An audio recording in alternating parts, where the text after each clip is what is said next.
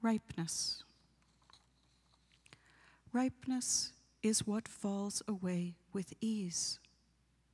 Not only the heavy apple, the pear, but also the dried brown strands of autumn iris from their corm.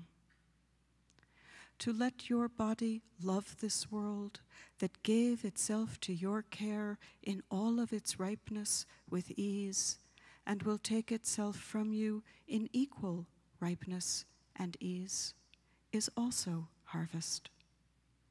And however sharply you are tested, this sorrow, that great love, it too will leave on that clean knife.